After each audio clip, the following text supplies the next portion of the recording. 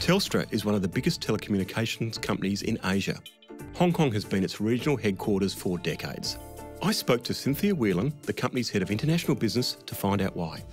There's a couple of reasons why Hong Kong is a great market for us to have our headquarters. Firstly, of course, is its geographic proximity, not only to China, but to many of the important markets for us in Asia Pacific.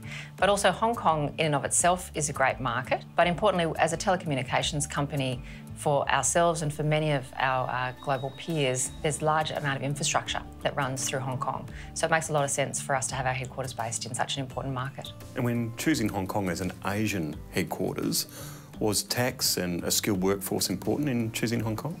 Well, certainly Hong Kong is an easy place to do business. And so there are certain conditions in the Hong Kong market that make it a very logical place to set up a headquarters. Tax, of course, is one of them.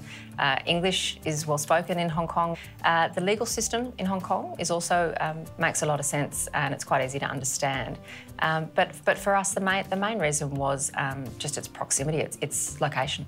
And, and, Hong Kong is an easy place to get in and out of. You know, there's a lot of multinationals. There's about 4,000 multinationals and large companies that have got their headquarters in Hong Kong. And the reason that a lot of companies do that is because it is not only just physically located very close to China, but the Hong Kong airport is phenomenal. It's incredibly efficient. And so it's an easy place to get in and out of and to use as a hub for the Asia Pacific region. Now, Hong Kong's a very competitive place. What do you practically need to do to set up a business? Well, the first thing is you need to decide whether or not you want to take office space. And office space, like all rental in Hong Kong, is really expensive. And so, probably the best thing to do is decide which part of Hong Kong you actually want to be based. Do you actually need to be in the CBD, or can you be a bit further out? Because the further away from the main business district you are, the less expensive the rent is. Um, secondly, look at local talent. Make sure that you're hiring local staff as well as bringing in capabilities perhaps from outside.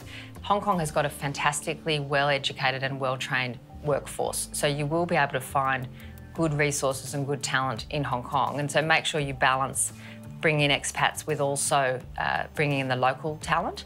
Um, and then the final thing I'd say about setting up a business in Hong Kong is understand the local nuances and the local culture. There's a few things in Hong Kong you may have heard about, a couple of um, aspects, particularly I'm thinking about things like um, around Chinese New Year, giving out red packets. Mm. This is all not familiar to us in Australia, but it is critically important.